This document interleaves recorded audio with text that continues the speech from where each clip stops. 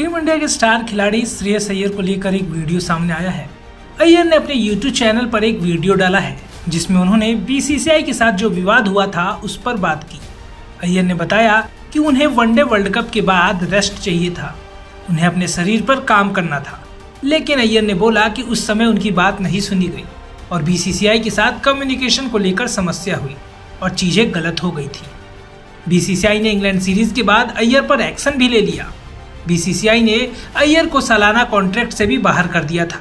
और वजह ये बताई थी कि श्रेयस अय्यर ने घरेलू क्रिकेट नहीं खेला। इस वजह से उनको सालाना कॉन्ट्रैक्ट से बाहर किया गया।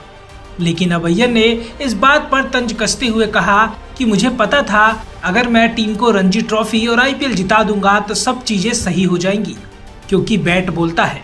श्रेयस अय्यर की इस वीडियो के बाद श्रेयस अय्यर के इस बयान के बाद ये साफ़ हो गया है कि वो खुद के ऊपर लिए गए फैसले से काफ़ी नाराज़ है।